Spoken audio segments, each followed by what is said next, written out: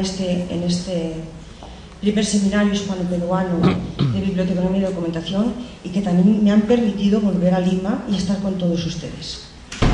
Bajo el título que ustedes ven en pantalla, La cooperación iberoamericana en investigación bibliotecológica y documental, la acción del Departamento de Biblioteconomía y Documentación de nuestra Universidad Complutense de Madrid, eh, voy a exponer la política de cooperación que lleva a cabo y que está teniendo este departamento con eh, Iberoamérica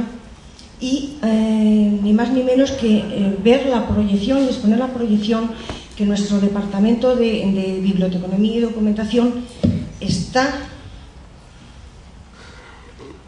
teniendo en la formación de investigadores iberoamericanos en el área de documentación y bibliotecología. Por ello voy a tratar dos puntos. Por una parte, la actividad doctoral del Departamento de Biblioteconomía y Documentación de la UCM y por otra, la formación de los investigadores iberoamericanos mediante la participación en distintas reuniones científicas y los programas de doctorado que llevamos impartiendo. En primer lugar, en cuanto a la actividad doctoral del departamento, de biblioteconomía decir que este punto se inscribe en el campo de, evaluación y diagnóstico de la investigación en documentación, algo que, se lleva, eh, que llevamos trabajando eh, bastante tiempo en nuestro departamento y que por tanto en este caso solo nos vamos a centrar en, en, en centrarnos en la formación de nuestros investigadores y todo lo relativo a tesis doctorales. Vamos a conocer un poco eh, la formación de nuestros investigadores, ver la, la trayectoria y trascendencia que estos investigadores y que estos formadores están dando eh, y produciendo para controlar y, vamos, más que controlar, medir el crecimiento de la productividad científica en el área de documentación.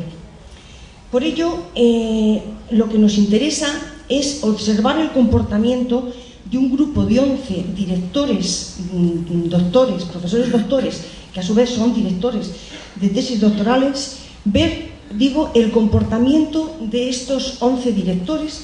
analizar un poco la relación que existe entre el director doctorando,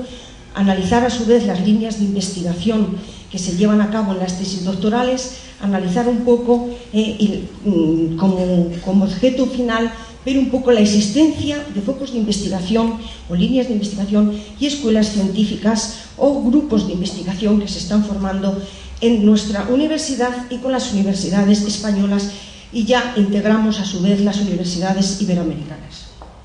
Bien, mm, en primer lugar decir que en la actualidad el departamento del que estamos tratando cuenta con 45 profesores, 31, 31 somos doctores y de esos 31, 11 estamos dedicados a la dirección de tesis doctorales.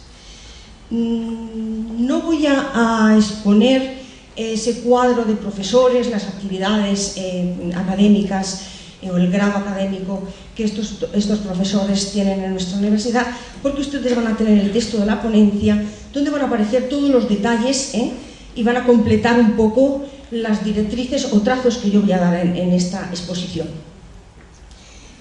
Solamente he detallado en la pantalla, como pueden ver ustedes, los directores de estos 11 directores a los que nos estamos aludiendo, que son miembros actuales de nuestro departamento. 11 directores de tesis doctorales, donde eh, reflejamos o relacionamos número de tesis doctorales que ha dirigido cada uno, año eh, de lectura de su, de su, tesis doctoral, año en, que han iniciado su, primer, eh, su, primera dirección en una tesis doctoral, tesis doctorales que son del departamento de, nuestro de biblioteconomía y otras tesis doctorales eh, que pertenecen fuera de nuestro departamento. Podemos